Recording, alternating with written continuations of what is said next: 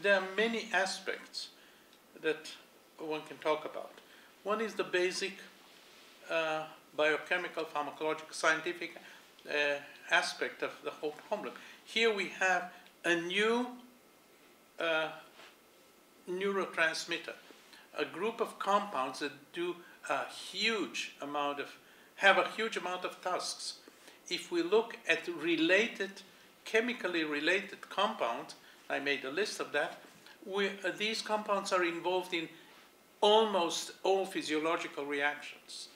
There are uh, so many of them that I think that here there is uh, so much work to be done by uh, scientists over the next 20, 30, 40 years. A lot of those compounds are around. Some of them bind to the cannabinoid receptors. Others are just uh, chemically related and bind to other receptors, are involved in many, many other things. And as I mentioned before, those that bind to the CB2 receptors are part of a general protective uh, uh, facility, if you wish, in our body, like the immune system.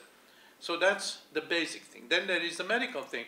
We have to find out what, uh, how we can use them and what are the diseases we can use these compounds against.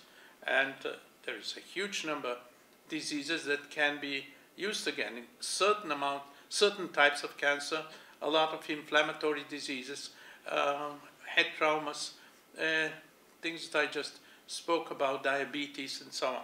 So there are many things that uh, can be improved. The bone, for example, uh, we just found, uh, we, I had the results last week, that um, a bone that is broken, in animals in this case, a bone that is broken takes about 30% less time to, to heal if the animal is given a mixture of CBD and THC, which are essentially the major compounds in, in marijuana.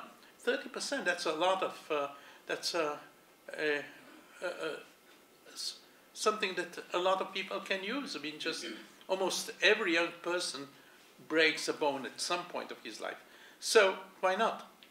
Uh, osteoporosis, things like that. So I believe that in addition to the basic science, we shall learn, learn about uh, in medicine as, as therapeutic drugs.